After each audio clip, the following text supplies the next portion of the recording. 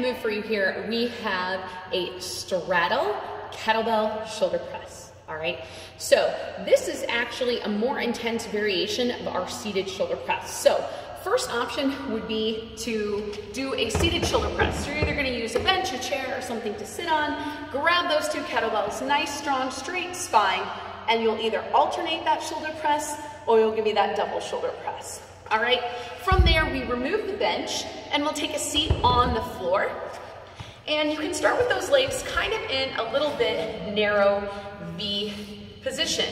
All right, but you wanna hinge at those hips, keep a nice tall straight spine, and then again, we'll either alternate the shoulder press or we'll do a double shoulder press. To advance this move again, now that we're seated on the ground, we can go ahead and take a little bit wider of a straddle. So we'll get that nice strong straddle position, nice tall spine, abs in.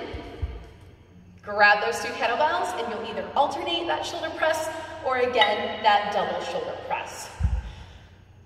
That is your straddled kettlebell shoulder press.